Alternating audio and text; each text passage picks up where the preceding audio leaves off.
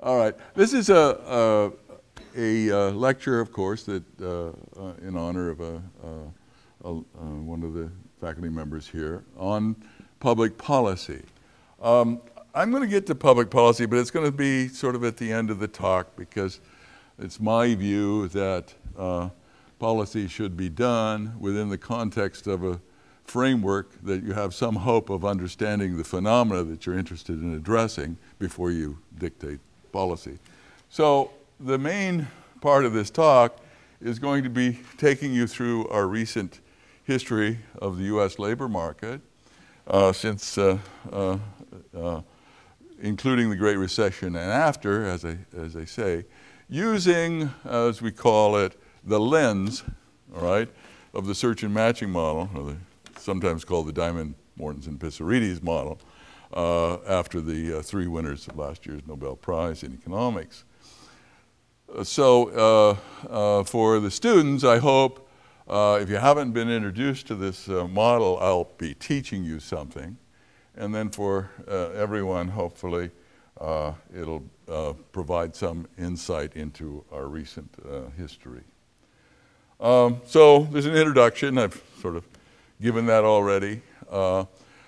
Uh, I want to uh, uh, talk about uh, what uh, has become known as the worker flows approach, which contrasts with, say, the uh, more standard supply and demand analysis of markets that we all grew up with as undergraduates and graduates.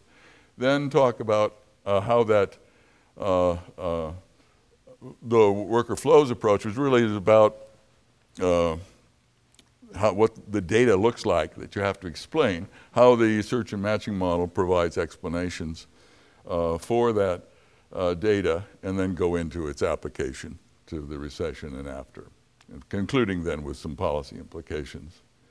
All right, uh, the most famous, I suppose, economic statistic other than GNP, gross national product, is the unemployment rate.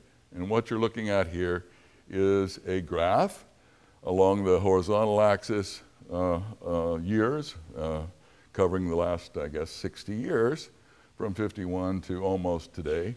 Uh, and on the horizontal, the percentage of uh, the uh, workforce that are, by the definition of the unemployment rate and the way it's measured, they're looking for a job. They respond to a survey question which says that they've actively uh, uh, looked for a job. Uh, that excludes, uh, there's some broader measures of the unemployment rate, but this is the one that's quoted in the paper all the time. All right? And there's a, a couple of obvious uh, points to make. First of all, it moves around a lot. All right? And it moves around particularly in response to cycles or fluctuations in business activity. All right?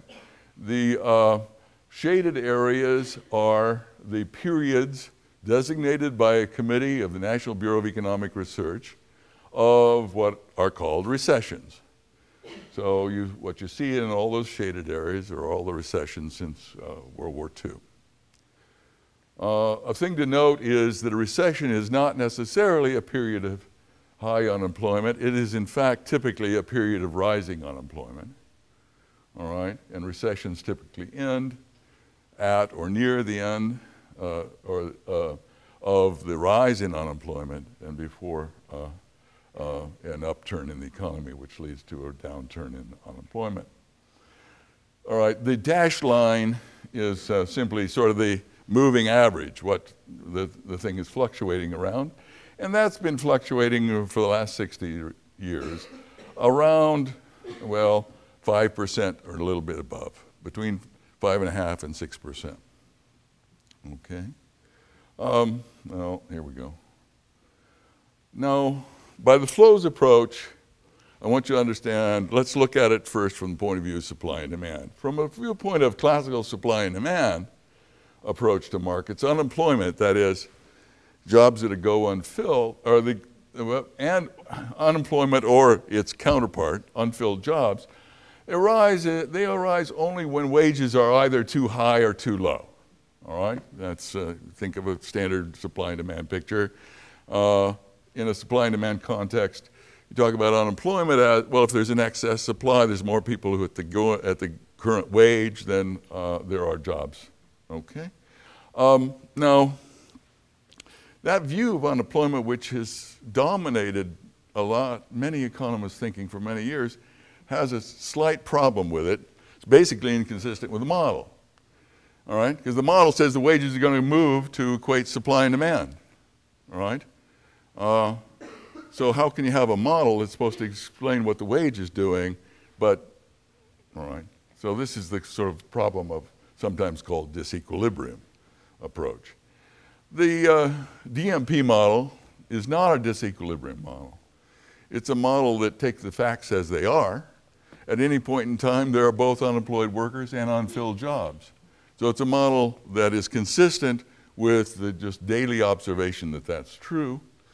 Uh, and uh, the way that that's rationalized is that there's a matching problem. It takes time for workers to find the right job. It takes time for to fill jobs with the right workers.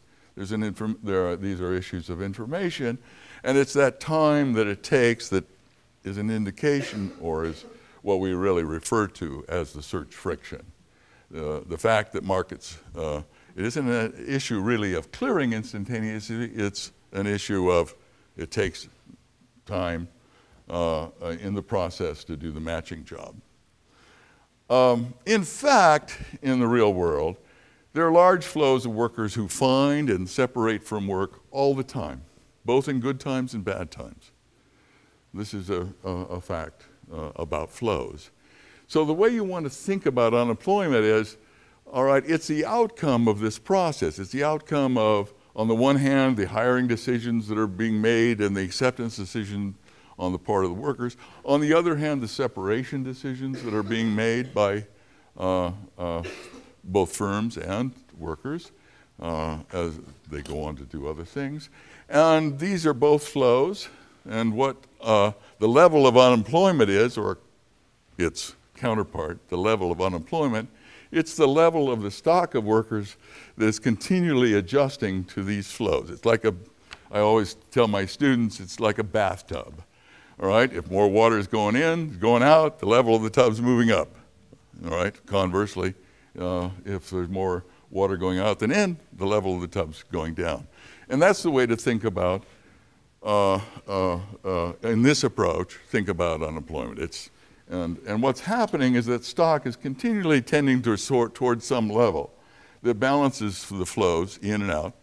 All right, and those flows themselves are moving around in shocks in response to various things that are happening to the economy. So that's the difference in viewpoint that uh, this that this model takes. All right, here's a picture. This is a rather complicated picture, so I'll spend a little time with it. Again, we have time on the vertical, but now it's mo- months. It's every month over the last uh, 10 plus years from December 2000 to April uh, 2000. Well, it's actually beyond April there. I think we're up to July on this picture, July 2011. On the horizontal axis, on the left horizontal, there are two uh, horizontal axes, and that's, I know, confusing unless you're used to graphs. But on the left one measure the, measures the flows in thousands of people. The blue, the blue line are uh, new hires, the number of people per month that are hired in each of these months, all right, over the last uh, 10 or so years, almost 11 years. All right, and the red one are the separations, the number of people who separate from jobs. Okay. Uh, now, a couple of things to note here. First of all, these numbers are large. In uh, December 2000, five and a half million people were hired into new jobs, and roughly the same number uh, separated from jobs. All right. Uh, look down now uh, after the, the recession here, again, are in shaded areas. So the, uh, the Great Recession is this large shaded area over here between December 07 and June 09.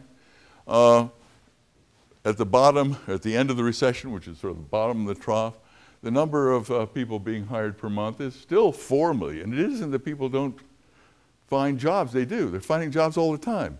The difference is simply in the magnitude, all right, of these flows, the relative magnitude. All right, the other point to notice is that we've got another line up here, which is the level of employment, all right? And it's measured on the right-hand axis, so it has a different uh, units. You can see how many people we're talking about. We're talking about 135 million, all right, which is the size of the U.S. labor force about. Um, uh, all right. And it's going up when hires exceed separations. When the blue line's above the red line, it's going down and vice versa. That's the, laugh, that's the bathtub effect I'm talking about. All right, so, this, uh, so it's, it's moving to balance these two flows. Uh, and it peaks right there at the beginning of the recession and it troughs after the end of the recession. All right? The other thing to notice is that job separations and hires both move up and down together, which looks rather strange. But the reason for that is separations is composed of two parts, layoffs and voluntary quits. In bad times, layoffs are high. But voluntary quits are very low, and conversely, good times, a lot of people are moving from job to job. So these things move together uh, in a particular way. And that's part of the reason for this large volume during good times, because there's so many people moving from one job to another. Okay? I hope this helps you. It sort of illustrates this notion of flows and that the stocks are just balancing these two flows. Okay, the other concept I wanted to introduce you to is the matching function. Uh, I imagine we've got a lot of economics students out here. Uh, if uh, the matching function is uh, for a market, much like a production function is for aggregate production function is for, the theory of growth. All right, it's a relationship, postulated relationship between the rate at which new jobs are formed all right? That flow I've been talking about. And inputs into the matching process. What are the inputs? Well, the simplest measure of inputs, we can get more complicated, but the simplest measure is how many people are looking for jobs and how many jobs are looking for people. The inputs are the unemployed workers and the vacancies. Uh, and, the pot, and the postulated relationship is that an increase in either of those will increase the job formation rate. All right? Uh, and, and, but that there will be some congestion. That is, if we increase one, hold the other constant, there'll be diminishing returns. Then the other postulate is, however, if we double the numbers of both, we'll double the number of new people hired. Okay? Uh, all right, so it has the property of constant returns to scale. It implies something very natural that the length of time it takes to find a job depends on how many vacancies there are per unemployed worker. The vacancy unemployed, the ratio of vacancies to unemployed, what we call in our lingo market tightness. This would be confusing. In fact, the job finding rate, given this postulated matching function, is an increasing function, job that is how, uh, uh, what's the probability per week of of uh, being matched in the job, a, a typical worker being matched to job, is an increasing function of the vacancy unemployment rate. All right? So that's just a postulated. Now, what, that, what that's trying to capture, that's trying to capture in a very simple structure this matching process, the fact that it takes time to match workers and employers in a very simple, natural way. The other relationships I've already introduced to you, the balanced, uh, the flow balance relationship, the fact that unemployment tends to the value of the balance inflows and outflows. If I take these two relationships together, they imply a Beveridge curve. Now, this is not a spelling error. All right, Beveridge is a person's name. Uh, actually, a, a, a, an English lord who's, uh, and he has uh, his name attached to this particular relationship because he was the author of a study on full employment after World War II in Britain and uh, the concept of a Beveridge curve, the empirical relationship that we call the Beveridge curve, which I'm going to show you a little bit later, all right, was named for him. All right? Two relationships uh, explain the so called Beveridge curve. The Beveridge curve is an empirical relationship, a negative association between vacancies and unemployment. When vacancies are high relative to unemployment, it doesn't take long to fill jobs, all right? So unemployment's low. When vacancies are low relative to unemployed workers, it takes a long time uh, for, it, takes a long time to fill jobs, but it, it, takes a short time for, or a long time for workers to find jobs, unemployment rates high. All right, uh, that's implied by these two uh, structures. Uh, just the empirical data, here's the first one, vacancy finding rate uh, on the vertical on the left panel, the vacancy unemployment ratio on the right, and all those dots are monthly observations over the post-war period in the United States. So uh, in log, log deviations, so uh, it's a log linear relationship, uh, uh, which uh, of course is our favorite function in economics, just a power function, right? Or what we would call a Cobb-Douglas in the production function lingo. The right-hand panel is the scatter of points for the vacancy rate on the vertical, the unemployment rate on the uh, horizontal, which is implied by the first relationship plus the flow balance equation, and uh, uh, it's uh, in the data. Also a linear, log linear relationship, roughly. Okay, uh, so those, so far what I've described for you, if you like, is the mechanics of the aggregate labor market. So there's no economics there, I postulated a, essentially a technolo technological relationship, and I, and I defined what is essentially a dynamic equation, who, and I defined the steady state solution of that equation, where flows are, inflows and outflows are balanced. So these are purely uh, technical. All right, now comes economics. right? The economics are two uh, conditions. One is a demand side condition. Jobs are created up to the point where the marginal vacancy has zero value, i.e., there's no pure profit associated with creating a job opening. Job openings will be created up to the point where those profits will vanish. All right? um, per unemployment. All right, when future wage, when, okay. And an implication is, for a given level of expectations, which I'll talk about, is that uh, of this proposition is that the higher the promised wages are, I'm going to emphasize promised wages, because this is a dynamic story. Uh, jobs last over a period of time, so both the employer and worker, when they decide to form a match, have to think about what the future wages are going to be. They have to have some expectations about what the future wages are going to be. But when promised wages are high, then profits are relatively low given expectations, so fewer vacancies are created. So it implies a negative relationship between uh, the vacancy unemployment ratio and the wage. The other part, which corresponds, if you like, to the supply curve, is that workers and employers share the surplus value of a match. the, uh, it's not a supply and demand model, so their wages don't equate supply and demand. There are always, because it takes time to find a match, there are always match rents available once a match is found. And those rents have to be divided between the two parties.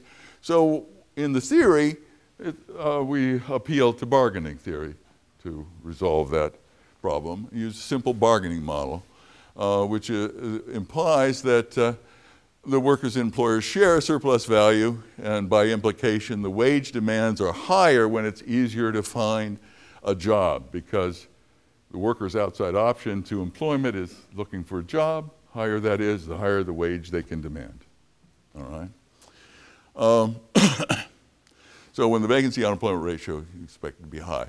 A search equilibrium now is a vacancy, an unemployment ratio, and a wage pair that balances these two forces. All right, what do I mean by that? Well, there's the picture.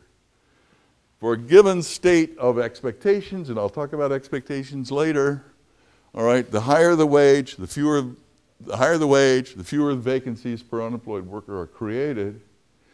But on the other hand, the higher the vacancy unemployment ratio, the higher the wage demands of the workers all right? And where those two forces balance, where the red line uh, with the free entry condition, intersects the bargaining outcome condition is, according to this theory, where the wage is going to be and where the vacancy unemployment ratio is going to be. All right? So that's the, uh, it's a kind of supply demand, but it's a dynamic supply, story about supply and demand, not a, a static one. All right. Um, just, uh, I'm going to talk about the Beveridge curve, but just to show over this last 10 periods, this is a picture of measures of vacancies on the left axis, uh, employment on the right. And what it shows, of course, is that as job openings fall, employment's going to follow. As job openings rise, employment's going to rise. That's implied by what I just said. Uh, all right, let's get to, I'll go back to this picture. I probably shouldn't have this intermediate graph. But now what determines the level of these curves? All right. Well, that's a big story. Depends on two very uncertain variables, all right? Because uh, the value uh, of a match is the expected present value for the, looking at the employer side, the value of a vacancy is, well, what kind of profit do I expect to make in the future if I post this vacancy and fill this job with someone? So it's expected present value of the profits that, that the worker, the employer expects, all right, in the future by employing the, a, a worker now. So there's two issues here. What's the expected stream of future match revenue? Well, there's no market out there by which the employer can go find the answer to that question. All right? What's the expected rate at which this stream is discounted? Well, there's there is a term structure of interest rates, so there's a bit of, uh, of stuff there, but that's not relevant for this problem. Uh, so the fact that the future is uncertain, and in particular these two components, if I do a calculation of a present value, which you're all business students, you know how to do, well, you don't know how to do it unless you know what that future stream of profits is and what the discount rate is to apply to every future date. All right? And those uh, from our, our uh, not uh, quantities that are just readily found uh, in some book or, for that matter, there's no market that gives you the, the answer to that question. So the, the point I'm emphasizing here is the location of that curve is very sensitive to what employers expect about the future. All right? Now, uh, that brings us to the crisis, the financial crisis. Financial crisis adversely affected both of these. All right? What happened. All right? The value of the biggest asset, actually the biggest single capital uh, asset in the country is the value of residential houses. All right? And in, 19, in 2006, that started to tank against everyone's beliefs about whether this could happen or not. Households, once they woke up to what was going on, uh, reacted very naturally. Uh, they said, well, my wealth has fallen I better start saving, rebuild that wealth. So households uh, reduce consumption expenditure to replenish the wealth. All right, perfectly natural reaction uh, to that particular case. Uh, at the same time, of course, there was a big crisis associated with that drop in value, as we all know, in the asset markets. The asset markets had gotten overextended in terms of making loans to residential housing and various other things. And there are all sorts of complications having to do with the derivatives, and you've all read about all that stuff. I don't want to go that into that in, uh, in uh, uh, detail. What I want to say is what's the implication for the labor market? Well, the implication is the banks restricted lending, increased the effective interest rate the borrowers pay. All right? In other words, the rate at which they're going to discount future profits goes up. All right? So for both reasons, the value of a vacancy falls. All right? Severely falls. The expected value of vacancy fell for both reasons. Okay? So what does that do in the picture? It shifts the green line down to the purple line. Northwestern's purple, but I'd never thought about, you know, that fact. Uh, and what are the, what's the consequence? There's two consequences, really. There's pressure on wages to fall, all right, because now the value of, uh, of searching for a job has fallen, all right. If the vacancy unemployment ratio has fallen, so the values, are, and the vacancy unemployment ratio falls. Vacancies fall relative to unemployment. As a consequence of their falling relative to unemployment, wages come down. But wages don't come down enough to compensate. Totally. That curve would have to be flat. I'm sorry, the other way around. The curve would have to be vertical to fully compensate. And it's not. In fact, we're not even sure what it is, but it's, uh, it's pretty flat. All right? That's uh, the best we can say empirically. All right, so uh, you get this drop in the vacancy unemployment rate. What does that mean for the, uh, in terms of the Beveridge curve? This is the Beveridge curve in all its glory. Uh, I put it up here uh, for a very good reason, because it, it really maps out what happened in the labor market over the last uh, 10 years. The blue points up there these are uh, monthly observations. It's the same data as we saw earlier, but just in a different form. Blue observations are the uh, uh, 2001 recession. And you move down the Beveridge curve in response to the kind of thing I'm just talking about. Uh, then uh, the red down to November, so uh, 2001, and a little bit further down. Then the recovery is the red dots, the connected red dots, and you move back up the Beveridge curve, all right, as the vacancy unemployment ratio rises. What's on the, or I should say, what's on the axis, uh, the, the vacancy rate's on the horizontal, unemployment's on the, uh, on the horizontal, I'm sorry, vacancy's on the vertical, unemployment's on the horizontal. The vacancy unemployment rate is, take a point out there, any point you want, it's the slope of the line from the origin to that point, right? So when the vacancy unemployment ratio is high, unemployment's very low, all right, as we just said. And then, of course, the recession of 2001, the vacancy unemployment rate falls, unemployment rises. Uh, all right, then there's the recovery, which are the red lines. And that brings us to December 07. December 07, the uh, uh, housing market starts to get weak. There's some rumblings in the financial markets, not yet a crisis.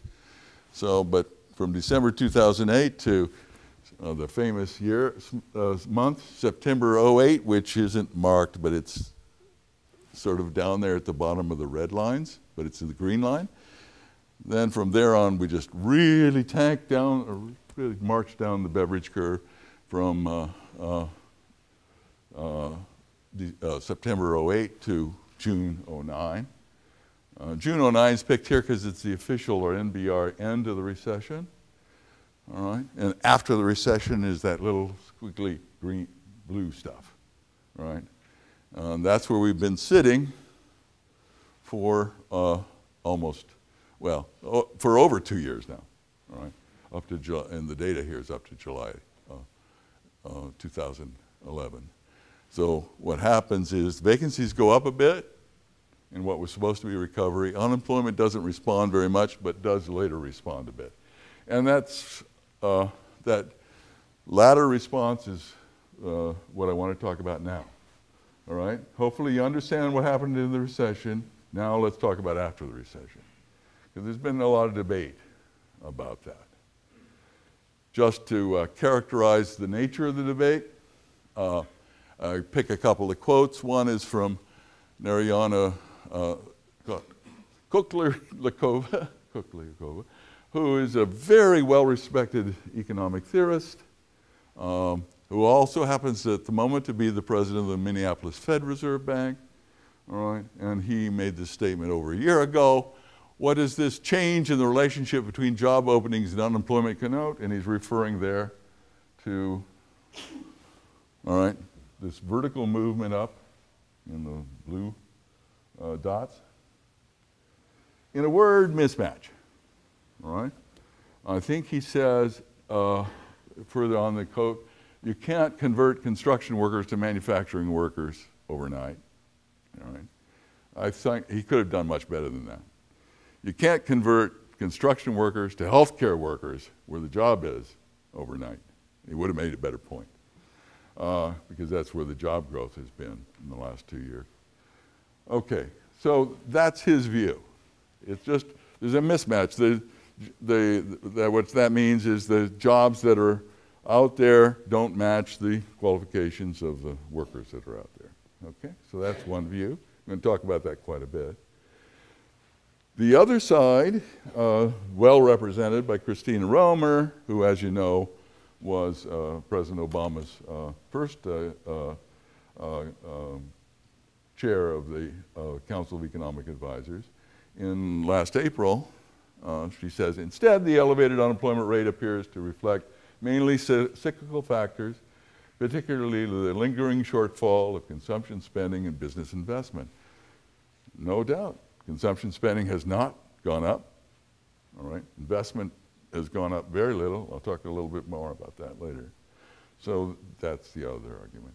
I just put in a third vote here because uh, Marty uh, Feldstein was Reagan's uh, chair of the Council of Economic Advisors way back there. And he actually sides with Christina, although he's very Republican, if you know him. The high unemployment rate reflects the lack of demand rather than fundamental problems of the U.S. labor market. All right? Now, I happen to agree with Marty. All right? So that's my position as well. Let's uh, see what the evidence says. Okay, so what's the arguments for mismatch? Well, one simple argument is the Beveridge curve has shifted out, reflecting the possible fact that it may have become harder to match workers with jobs. That is, it now takes more vacancies per unemployed worker to match, to get a particular matching rate. That's what the statement's saying. And that's what, if you like, that's what this picture kind of says. All right, it takes more vacancies per unemployed worker, all right, to get a particular unemployment rate. All right, and uh, so that's a simple-minded view of what the picture says, and that's really what uh, Kocherlakota was referring to. All right, uh, we already went through that. Of course, we know construction finance industries were adversely affected. Employment fell uh, about 1.3 million in these sectors, and most new jobs are in health services. So uh, there's some reasons. Another argument that's pointed out, that's stated, is that uh, the labor market typically is a very fluid, well, uh, households have in the past been relatively quick to move uh, across regions in response to differential, regional differentials in uh, job availability. All right, one of the important sort of uh, uh adjustment mechanisms in the, in the labor market is the willingness of people, in fact, to move where the jobs are. And uh, uh, that's been complicated, that process has been complicated by, again, you know, the housing market problems because people are locked in. The housing market lock, 11 million mortgages underwater. Uh, you know, it's hard to walk away and leave and go to another region.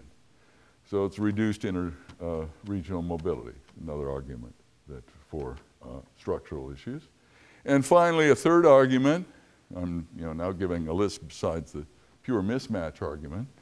Uh, uh unemployment benefits were extended roughly from 26 to 52 weeks. Uh, and that reduces worker search effort, incentive worker search. In fact, some of my early papers were about that, all right? And uh, that argument's had a big effect on discussing the role of unemployment benefits um, in uh, the labor market. So there's, there you go, uh, three possible uh, contributing factors to uh, support the argument for mismatch. Um, so uh, I've been trying to do my homework. Uh, I haven't had time, much time for research myself, all right, but try to see what other people have been doing in terms of trying to, uh, trying to answer whether or not these are, these are valid reasons. And if you just sort of take the first one, uh, you just take the theory itself. That's what my former colleague, uh, uh, Gadi Barlevy, did uh, take the theory itself, uh, it implies, well, if it does become harder to um, match workers, the Beveridge curve will shift out, just as we saw. But then there's another effect, there's an incentive effect. If it's harder to match workers, then the uh, value of a vacancy has to be higher in order to compensate for the cost of finding those workers. And that's going to have another uh, uh, effect on the vacancy unemployment ratio. It's going to it's going to reduce it even more. All right? So if you actually take the theory the model and you take the data and you use the data to estimate these effects, all right, uh, uh, uh the parameters of the model, uh, which is Barlevy did, he comes up with an estimate of the effect of, uh, of mismatch at about 1.5 percentage points. All right, now the unemployment rate, if you looked at the pictures, increased from 5 percentage points to 10 percentage points. So it's only one point, so he comes up with maybe 1.5, actually maybe two percentage points uh, could be explained by uh, just that shift in the Beveridge curve. A more uh, nuanced analysis, which actually looked at data, surprise, surprise, more data, um, they, they really went to, to look to see what was the extent of mismatch across industries. Um, and you can do that. One of the measures of that is did dispersion and unemployment increase over across industries? And using that data, uh, uh, Violante and his co-authors come up with an estimate about point, plus 0.8 to 1.4. All right. Then an even more recent uh, study by uh, some of the staff members of San Francisco Fed uh, um, uh, in a paper, well, it's now, uh, it's now been published in the San Francisco Fed's uh, bulletin, whatever it is, but it, I found it in, it just was a, a working paper. They used historical data to estimate the response of the job creation to shifts in the, quote, natural rate. Uh, also considered effects of extending UI benefits. Um, I, they did a quite good job of looking at a lot of different data, and I could give you many, many pictures from their paper, but I'll refer it to you since uh, I'm giving you a lot of pictures already. but they find uh, uh, mismatch could account for, their estimate is lower, maybe uh, eight tenths of one percentage point, but they also will add another six tenths of a percent for extending unemployment benefits. So that brings it up to 1.4, 1.5. So all of these estimates are in this, more or less the same ballpark. Okay, so there may be uh, a fact, but doesn't explain the total story, right? Doesn't explain the five percentage points difference between, or 4%, I'll say it's 4% now, between 9% and 5%, which was the uh, historical average, as I showed you at the beginning. All right. Uh, just to, uh, we'll show one of the pictures because unemployment, extended unemployment benefits have been uh, batted around politically and in the press as a major reason for uh, the increased unemployment. Uh, here's a natural experiment, data natural experiment. Uh, it's actually measuring the average duration it takes to find a job. That's the horizontal axis in weeks, all right, on average, for two groups of people. Uh, job losers, those who are UI eligible, and uh, quits and new entrants who are not UI eligible. All right, so just comparing those two, two groups. As you see, for both groups, duration goes up. All right, and uh, duration in weeks more than doubles for both groups. Right, there, there's a little bit of evidence that maybe went up a little bit more for, uh, that's the red line, for uh, UI eligibles during the recession, and then sort of typed, the, typed up. All right, but uh, the increase in duration is not due to extended UI benefits, right? All right, there's something else going on. It affects both groups. Uh, the differential effect, there may be a small differential effect there, and that's what these authors measure as the 0.6 percentage point uh, uh, uh attribution to extended UI benefits. Uh, there, there, there's good theory, you can do an estimate here based on, on, on uh, microdata uh, because there's, there's a ton, a raft of studies on the effect of UI benefits on duration from, in every country. I think I've seen it in at least in every country that has data on duration. All right? And all of them uh, measure an effect of more generous benefits, longer benefit period, higher. All right? And you can take those estimates and come up with a measure of what the effect is in this particular case. And it's larger than 0.6, all right? But there's a problem. Those, all of those studies are basically, you can collect them together, normal periods in the labor market, not periods in which it's very hard to find a job. All right? When it's very hard to find a job, the disincentive effects of UI, all right, are large, are, are small rather. The marginal disincentive, there's not, you know, job search itself has a, during times when there are not many jobs out there, uh, there are a lot of people who get discouraged no matter what. The marginal contribution of extended benefits is not going to, you know, you can argue it's not going to extend things much. But extended benefits are very important for the welfare of the households. All right? It's an income, that's why it was invented. It's an income support system. So uh, it's an insurance system, and you need insurance when? When you have catastrophes, like uh, when the duration goes up, doubles, duration of unemployment. So, uh, what about deficient demand? Well, we know that households are either credit constrained or choose to reduce debt rather than buy current goods and services. There's no doubt about it. You all you have to do is go out and look at the, what the consumption numbers are. All right? Consumption tanked and hasn't gone up. Uh, now, what, uh, what that really means, think about it in terms of economics, what households are doing, they say they want to save more. What does that mean? They want they're expressing a desire to substitute future goods for current goods. All right? That's what they want to do substitute future goods for current goods. Now, uh, there's an imbalance in the goods market when that happens. What's the price is supposed to equate it? Basically, the interest rate. All right? And that's the argument for expansion mo- expansive monetary policy drive the interest rate down and reduce the incentive that households have to substitute future goods for current goods.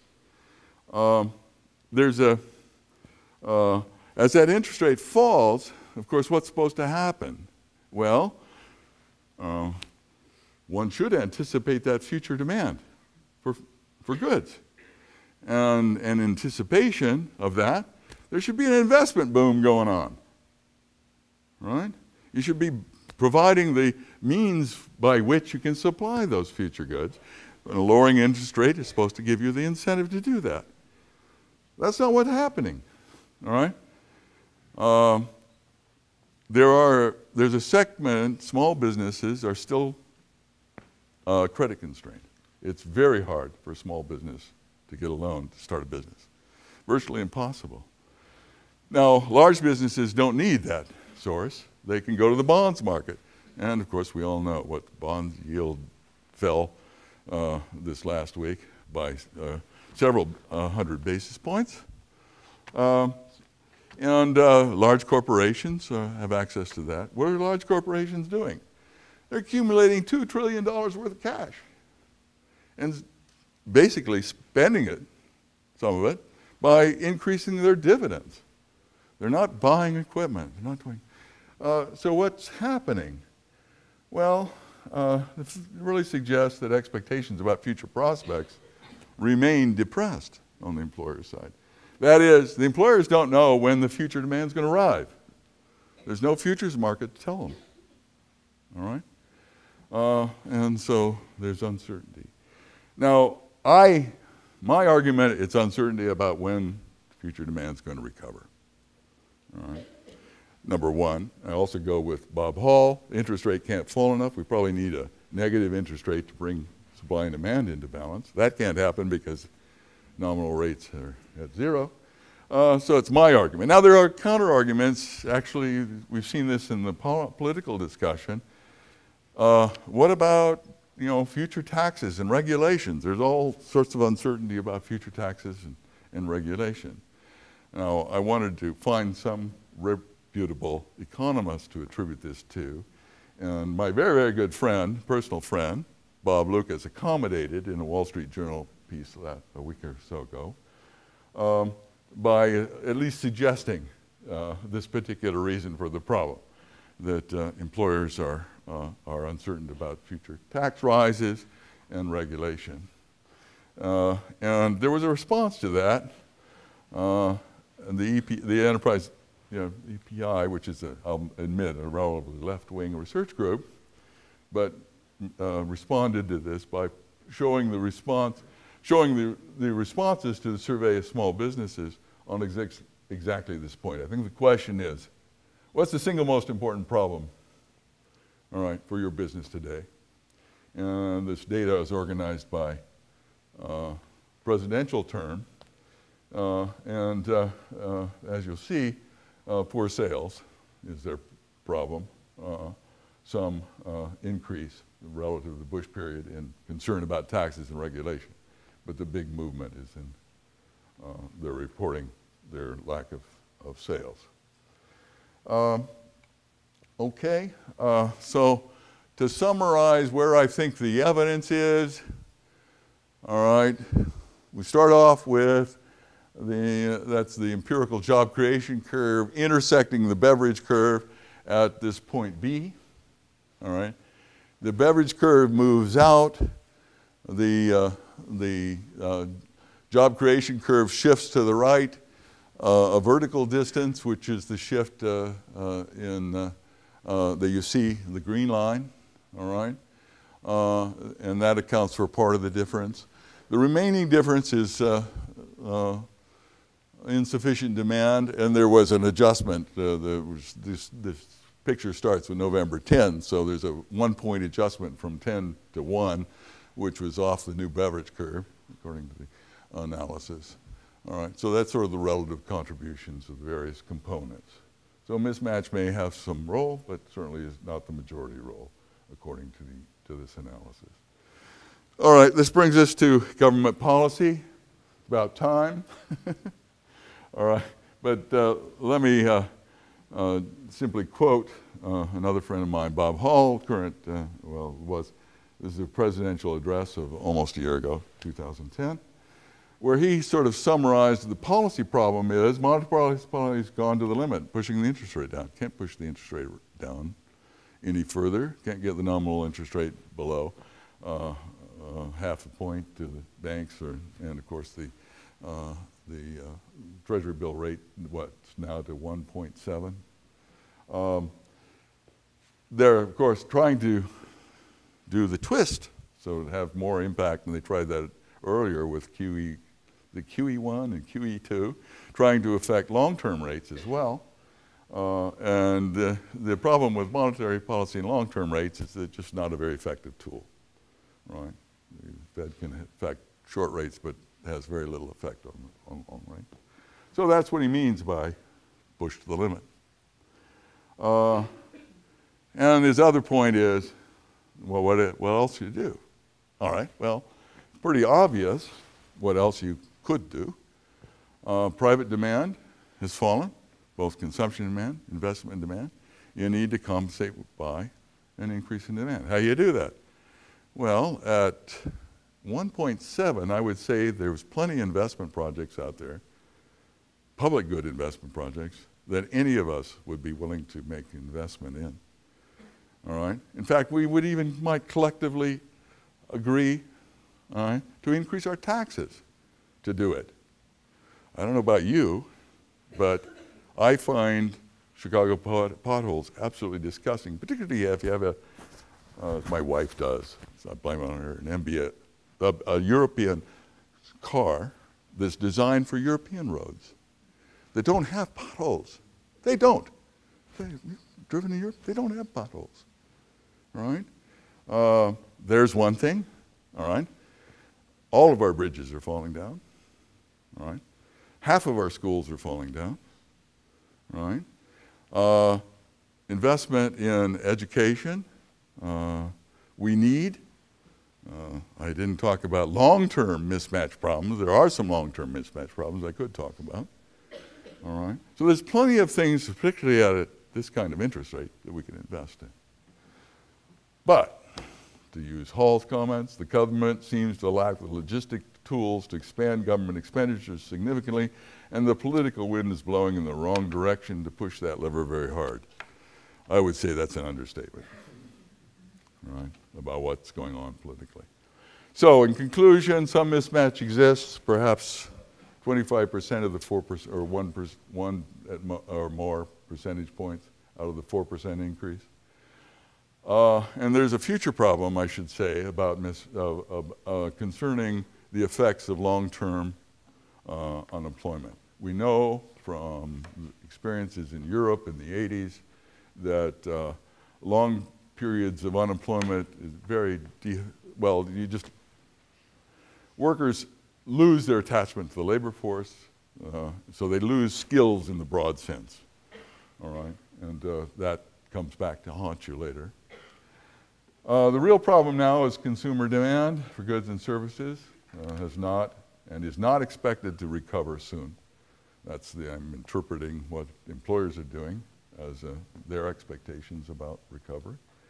Uh, fiscal stimulus would help, but not likely to pass Congress because we're focusing on another real problem, but it is a long-term issue.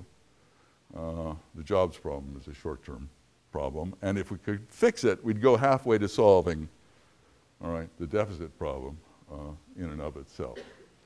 All right, so uh, I'm, I guess, uh, going to throw me uh, out by saying a Stiglitz supporter at this point. All right, the only problem with Obama's jobs bill is it's too small.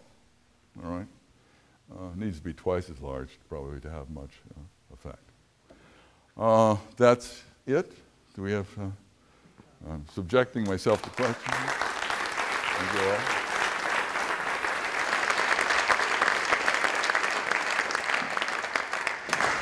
Okay, uh, let's take a few questions.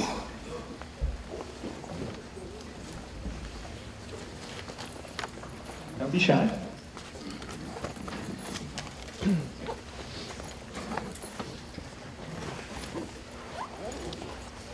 You missed them all. Oh, uh, thanks. Um, what do you think um, with the excess of uh, um, unemployment will have on the future of uh, housing prices, or what's your personal thoughts on that? Do you think they're they're going to stabilize sooner than later, or you think it'll take some more time? I mean, I, of course, it's going to take like five plus years before we see. Well, yeah, uh, you know, in the housing market, and, you know, they're not, as I suggested, there's not a, they're not separate housing and labor markets here, um, by any stretch of the imagination. Very, very interactive.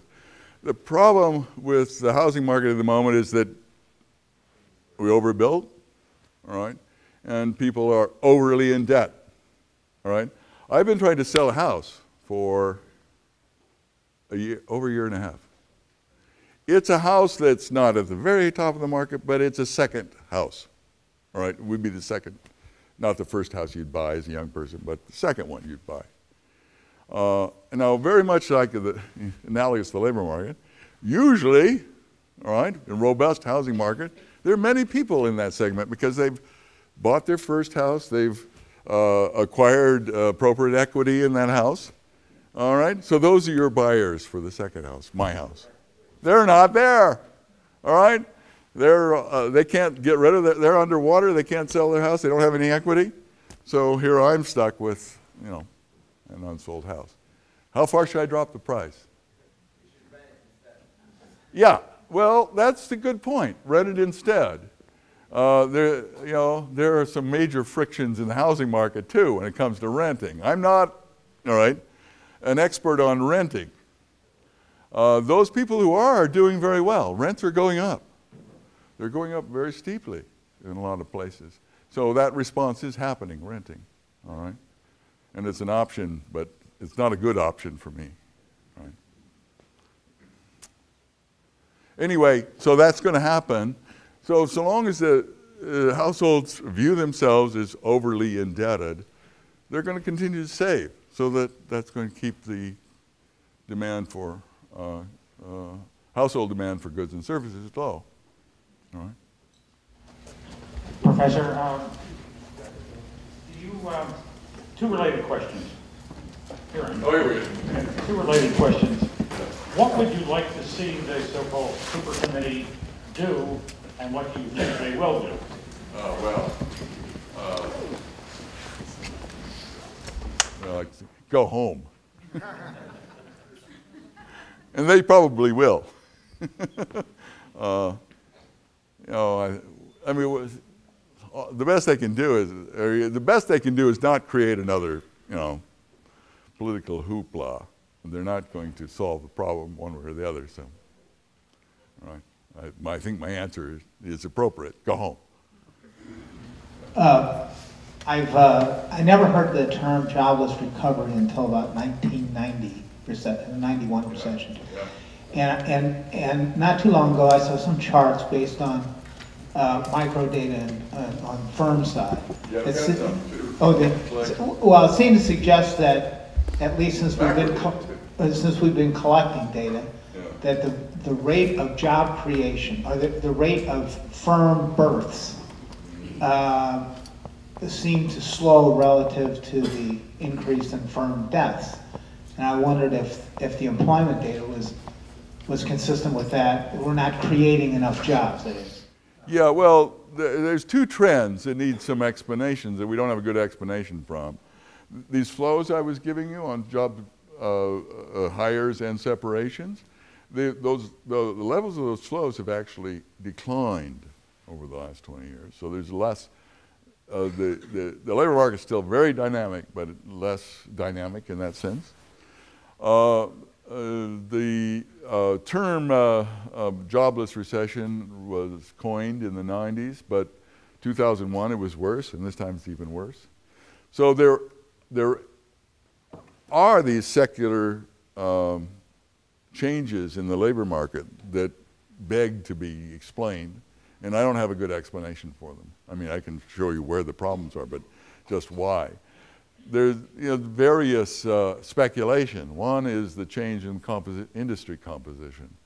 All right, I mean, it's not unrelated to what's also known as the Great Moderation until the last recession. You know that the that the that the uh, magnitude of the of the uh, cycles was smaller. Um, that the changing composition of uh, the economy away from manufacturing towards services uh, may be partly the culprit. And the, uh, the matching issues are different uh, in a more service-oriented economy. Uh, but I haven't seen any good research on that point. It's, it's, it's conjecture at this point.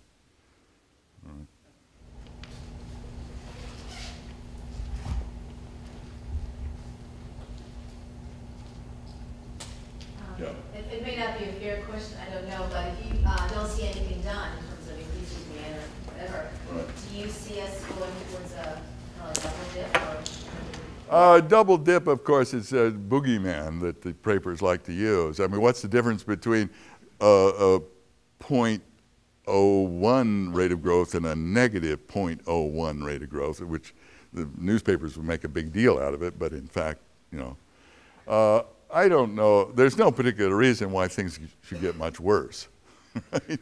which is maybe the good news. That's the good news, right? But there's not much reason to think that things are going to get better very fast. I mean, that's, that's the best way to characterize it. Yeah. Professor, you indicated earlier that in countries uh, where the unemployment insurance uh, benefits are more generous, they to have higher duration of unemployment. Uh, Following on that, uh, in the United States where we have trade adjustment assistance, which I I believe that still. We did have trade adjustments. We, that, that program's, not, that program was designed in the 70s to retrain manufacturing workers. We don't, hardly don't have any anymore. But go, No, no, well, for, for anyone who's lost their, uh, their job for trade-related Yeah. reasons, um, what, what is your impression about the effects of trade adjustment assistance? Uh, does that, uh, also, uh, create the duration of, uh, increase the duration of unemployment? And do you think it has any, ever had any positive effect on it? Well, uh, the, the, uh, the research on retraining workers has never been uh, one full of positive results, let me put it that way. Um, but it goes on all the time. I mean, I, I don't know whether it's the methodology of the research or, or, or what. Uh, workers get themselves retrained, uh, and that's happening now. Uh, there, are, there are many people going back to school moving toward the, the health industry. Uh, so now, what the impact of the of that of that particular I mean, that was a program designed to to uh, uh, deal with the question, you know, there are winners and there are losers uh, associated with, with opening up to international trade. And the winners ought to be helping the losers, all right? That was the rationale for that program uh, when it started. Now, as I, I don't his, a, a detailed history of the program, but I think it's sort of lost more and more of its um, effect simply because it was focused at specific manufacturing uh, industries, and now the job loss is, is, is more th- is beyond that. You know, it's not. We're not just talking about manufacturing. Um, what do you, what do you, what are your possibility of U.S. goods finding better sales in, in the international market in light of the kind of disputes that have been happening around these accusations that China's uh, artificially suppressing the value of the yuan? Well, That really is making a difference. uh, I think it's a political excuse, frankly. Um, all right, this is a business school. Get out there and sell those goods and services, guys. You know, we're doing a pretty terrible job of it. All right, uh, I think we need to be a little bit more aggressive on the, in the business side of things. Yeah, it, arguably the you know it's overvalued. Uh, um, will, how much difference it would make if you changed the relative value by 20%? Well, it would help manufacturing. It wouldn't solve the problem. uh, we could double manufacturing employment and we're hardly make a dent in the unemployment rate numbers. And it's only 6% now.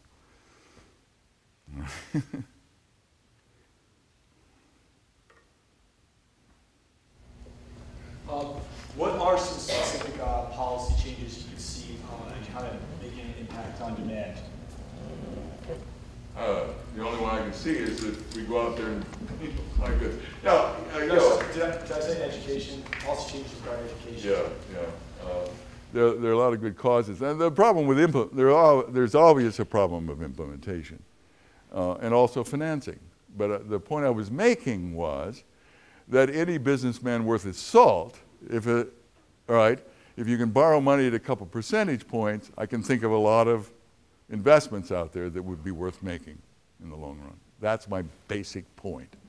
Uh, uh, I'm not, I'm an economist, all right, not a policy design person, all right? Uh, now, the, what policies you would follow is pretty obvious, all right? Government would have to do it.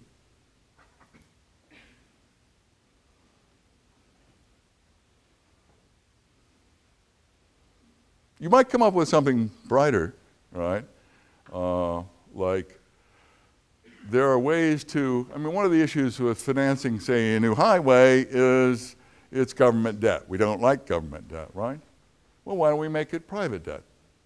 Why don't we get imaginative and uh, make the financing of a new road private? We, we know how to do that. It's called a toll road, you know?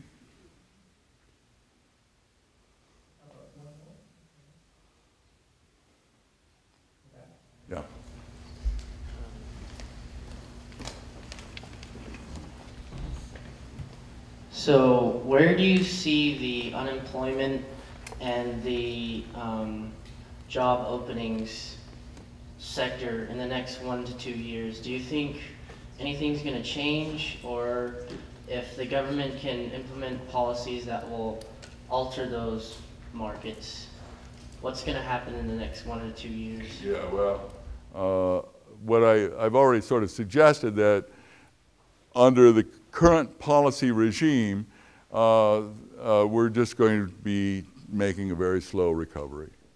All right? Uh, so unless the, uh, uh, unless there were a major move on the fiscal front, which I don't expect to happen, all right, the aggregate unemployment rate is going to slowly fall. Now, there are sectors, of course, where there's significant job growth. Uh, so if you happen to be in those sectors, if you're going to go into the health uh, services industry, uh, that's where the action is at the moment in the labor market.